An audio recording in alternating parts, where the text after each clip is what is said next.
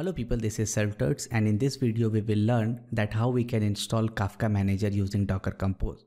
So during this installation process, we will be installing Zookeeper, Kafka and Kafka Manager as the three separate independent Docker containers and then we'll link all these container in between each other so that they can communicate and finally we'll get the graphical user interface of Kafka Manager. So we will be having a host operating system which can be any operating system let's say windows mac or linux. So this is your host operating system. And inside this host operating system you have docker environment installed. So the prerequisite is what? You must have docker installed and you must have docker compose installed. Then only you can follow this tutorial. Because if you want to run docker compose if you want to create containers then these softwares or applications must be installed on your system. Then only you can proceed Inside the Docker environment, what we will do, we will be creating a Zookeeper container, we'll be creating a Kafka container, we'll be creating a Kafka manager container, and all these three will be able to talk to each other, which means there will be a connection in between them and they can talk to each other. The Zookeeper container will be exposed on port 2181 to the host operating system and inside the Docker environment, it is linked with the port 2181. So if you are familiar with Docker port forwarding, then you must understand that that 2181 port on host operating system is linked to the Zookeeper container 2181 port. Same way we have this Kafka container and it is linked with the host port of 9092 and here also 9092.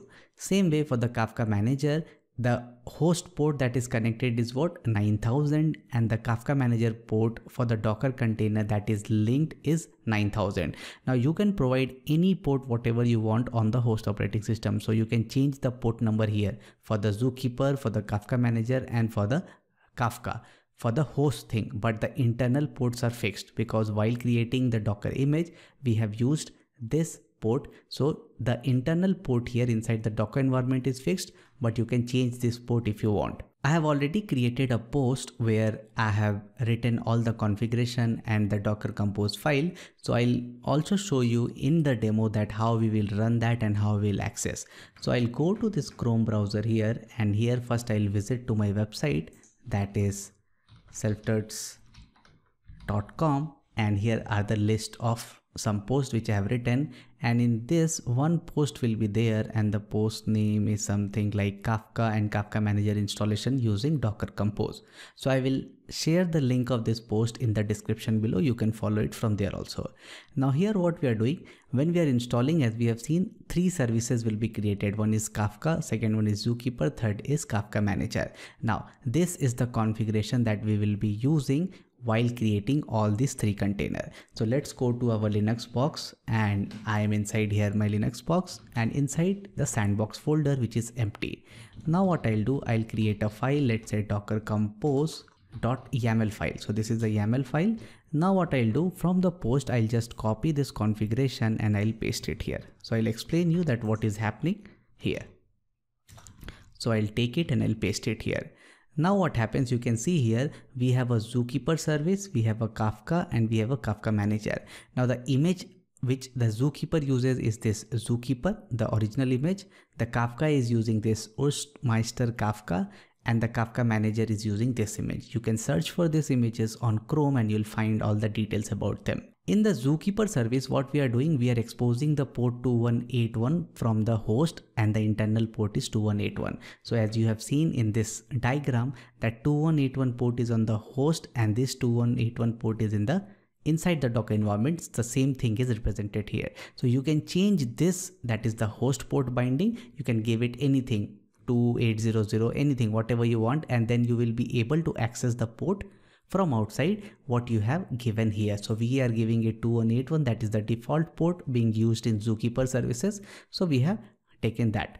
Now the environment we are giving a unique ID to our Zookeeper service that will be running.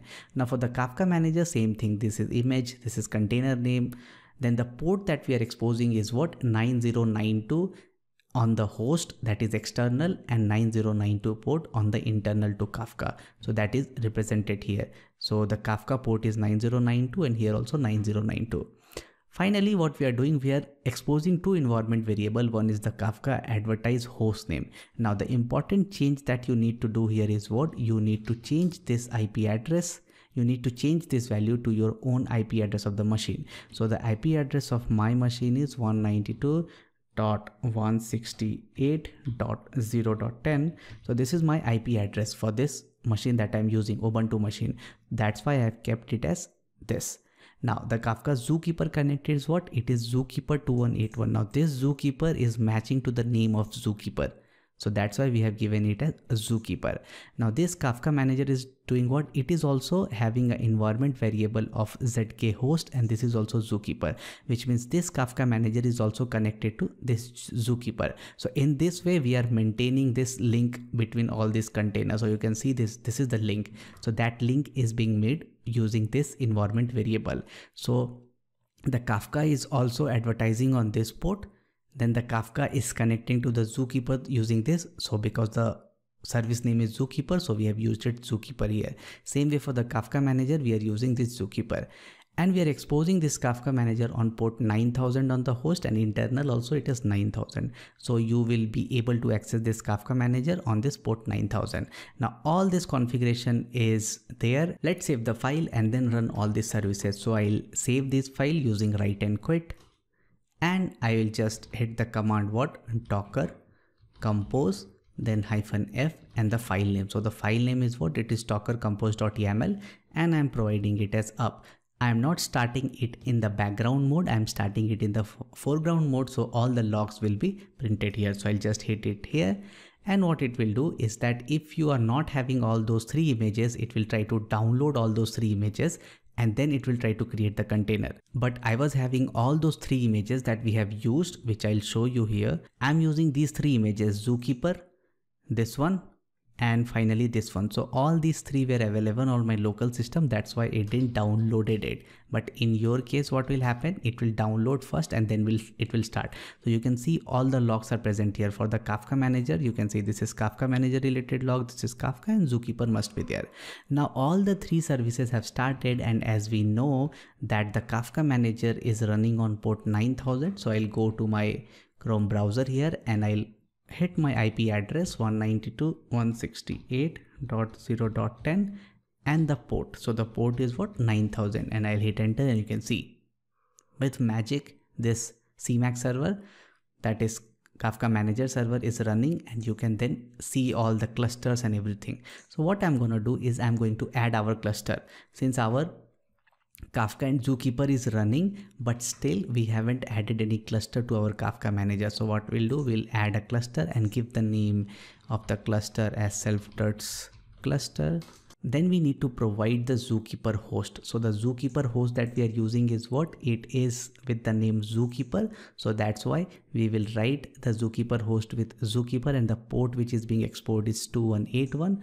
So I'll just come here and I'll say Zookeeper 2181 okay? And the kafka version that we are using is greater than 2.4.0 that is fine. Then we'll say this enable JMX polling fine. And then we'll also poll the consumer and then we'll also select this. So all these three configuration that i have selected is important.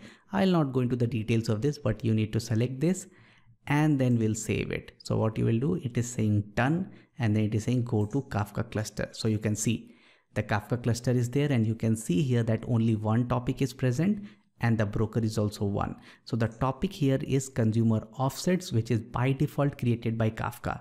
So this is a topic which stores all the offset and other information. So it will be needed when you go into the depth of the Kafka because I have also created a whole series on Kafka for beginners. You can follow that also to understand these things. But this tutorial is only related to Kafka Manager. So we are doing only the installation part. Now, if you go to this self-tuts cluster, you can add a new topic. So let's say I want to create a topic of users.